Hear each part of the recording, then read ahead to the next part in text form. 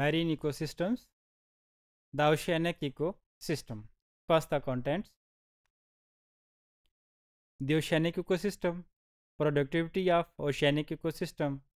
and the plants and animal life present in the oceanic ecosystem. Student सबसे पहले अगर हम बात करें ओवरऑल अगर हम ओशनिक इकोसिस्टम्स को देखें तो तीन तरह के इकोसिस्टम जो है वो यहाँ बनते हैं ओशंस के अंदर the first one is the intertidal ecosystem intertidal ecosystem वो है जो किनारों के ऊपर जहाँ वेव्स जा रही हैं, वापस आ रही हैं tides for time being water मौजूद है, जब टाइड्स हाई हैं, वहाँ वाटर मौजूद है, जब टाइड लो है तो वहाँ वाटर मौजूद नहीं है। फिर उसके बाद हमारे पास नेरेटिक जोन आ जाएगा। नेरेटिक जोन वह जो इंटरटाइडल जोन से लेकर कॉन्टिनेंटल शेल्फ तक चलेगा। यानी 200 मीटर डेप्थ तक से पहले पहले का जो वो नेरेटिक जोन है। अब जहाँ से 200 मीटर डेप्थ स्टार्ट हो जाएगी, वहाँ से आगे जितना भी जो होगा उसको हम ओपन ओशन कहते हैं या फिर इसके लिए हम ओशियनिक इकोसिस्टम का वर्ड यूज़ करते हैं। ओशियनिक इकोसिस्टम एक कॉन्टिनेंटल शिफ्ट से स्टार्ट होगा और उस ओशन के दूसरी तरफ़ जो कॉन्टिनेंटल शिफ्ट बन रही होगी, शेल्फ बन रही होगी, उन दो कॉन्टिनेंटल शेल्फ के दरमियान जितना भी इकोसिस्टम है that is the oceanic ecosystem इसका मतलब है कि ओशंस के अंदर जो मेन ज़्यादा जो एरिया है that is occupied by the oceanic ecosystem are the open sea ecosystem oceanic ecosystems में अगर हम इस पर देखें तो जो इसके ऊपर 200 मीटर्स तक तो लाइट पेनिट्रेट करेगी। लेकिन उससे नीचे जो है वो 1000, 2000, 3000 इवन 10000 तक की जो डेप्थ है वहाँ लाइट पेनिट्रेट नहीं करेगी वहाँ अंधेरा ही अंधेरा होगा। तो हेयर इन दिस डायग्राम अगर हम इस पर देखें तो तीनों जो है वो ओशियनिक इकोसिस्टम की आप बात करेंगे this is the oceanic zone और ओशियनिक इकोसिस्टम ये एक कॉन्टिनेंटल शेफ्ट से लेकर जहाँ दूसरी कॉन्टिनेंटल शेफ्ट मौजूद होगी वहाँ तक चलेगा। इससे ये सारे का सारा जो वो ओशियनिक इकोसिस्टम बन जाएगा। ओशियनिक इकोसिस्टम के अगर हम देख it is starting from 200 metres और इसकी depth it may be more than 10,000 metres तो ये नहीं कि जितनी एक ओशन की डेप्थ हो सकती है पैसिफिक ओशन की जैसे डेप्थ जो है वो मोर देन टेन थाउज़ेंड है। तो बैरल कायल जो है उसकी डेप्थ टेन थाउज़ेंड मीटर से ज़्यादा तो इसका मतलब ये होगा कि ओशनिक जो जोन है या फिर ओशनिक इकोसिस्टम जो है उसकी डेप्थ उस हिसाब से ज़्यादा है। अच्छा ओशनिक इकोसिस्टम के अंदर अगर हम देखें, कुछ जोन उसने मैंशन किए हैं photic zone aphotic zone and abyssal zone तो सिंपली जो फोटिक जोन है, ये वो रीजन है जहाँ सनलाइट पेनिट्रेट कर रही है, यहाँ फोटोसिंथेसिस किसी हद तक पॉसिबल है। जबकि नीचे वाले एरियाज़ के अंदर किसी तरह की फोटोसिंथेसिस पॉसिबल नहीं होगी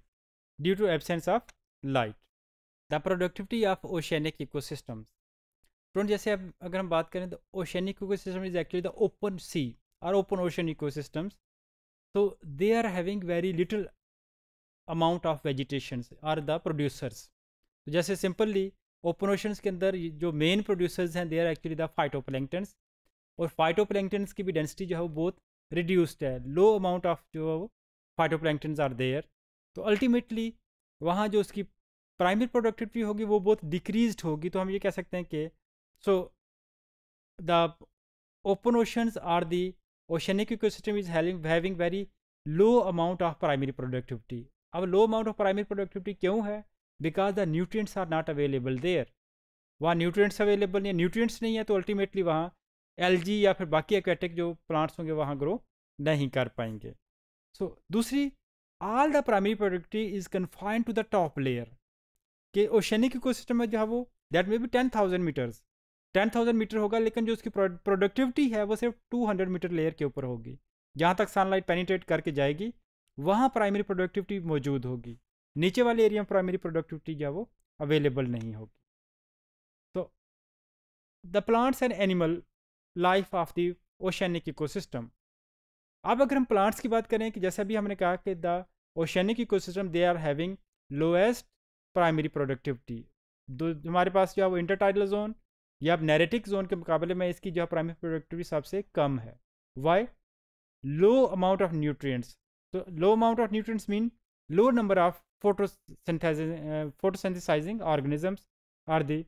तो इस तरह से जो प्लांट लाइफ है that is confined to the phyto phytoplanktons mainly यहाँ फाइटो फाइटोप्लैंक्टन्स मौजूद हैं। About the animal life animal life की अगर हम बात करें तो ओशनिक इकोसिस्टम में there large animals are also there जितने बड़े लार्ज एनिमल्स हैं, जैसे वेल्स हैं शार्क्स हैं they live in the oceanic ecosystem are number of small animals are invertebrate they are also reported from the oceanic ecosystems जैसे different types of worms are there molluscs are there echinoderms are there तो different types of arthropods are also reported from the oceanic ecosystems while the large animals की जैसे हम बात करें different types of fishes are there बहुत सारी fishes होती हैं they are present at the border line of oceanic ecosystem and the narrative ecosystem. तो बहुत सारी फिशेज होती हैं, उसकी बॉर्डर जहाँ कॉन्टिनेंटल शेल्फ शेल्फ स्टार्ट हो रही है,